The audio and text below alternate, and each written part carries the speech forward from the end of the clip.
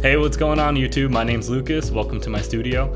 Today I'm going to be doing a quick video showing you my workflow for finding splice samples and loops off the internet, loading them and organizing them on your hard drive, and being able to use them with Ableton. If you find this helpful, definitely check out my channel. I have a bunch of different tutorials and tone comparison videos on there.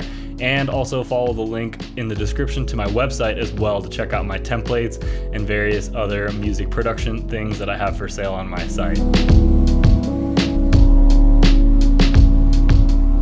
Here we are, this is the Splice website. I prefer to use this rather than the desktop app. The desktop app is nice for certain things, but when you're browsing, you're definitely going to want to use all the features of the website. I'm gonna go ahead and click sounds. This is where we're gonna be going to find loops and samples and presets and things like that. So for the purpose of this video, right now what I'm gonna be doing is I'm gonna be looking for some drum loops that I wanna use to write music to, to essentially have a bunch of song starters. And I'll do do this kind of like once a week or once a month or whatever whenever I have time so that I have a few things to write music to if I'm in a session and I don't have inspiration. So what I'm going to do is I'm going to click instruments here and I'm going to go to drums and if we click view all it will start browsing for us. We're going to do uh, live sounds here because I think I want some drum kit sounds. I'm going to leave the genre blank because I don't really care about that. I don't care about the key or the BPM, but I do care about finding loops. So we have a couple other things that we may want to filter down.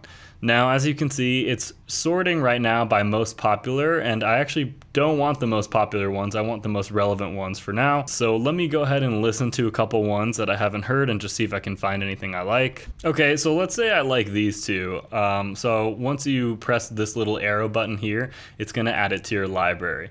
So I found these two loops. I think they sound fine for what I need right now. This is the point where I'm gonna switch over to the Splice app right here. So now what you can see is if you click sounds, it's gonna show you the ones that you've recently downloaded.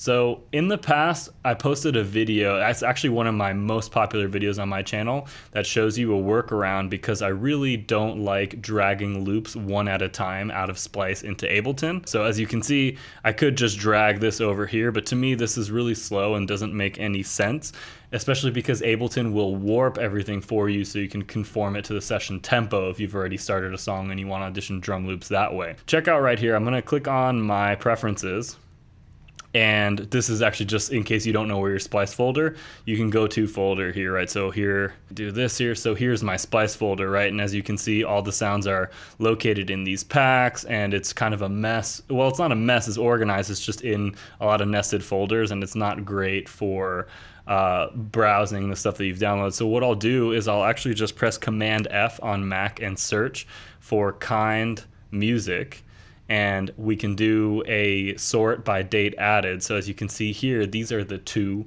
loops that I just added today.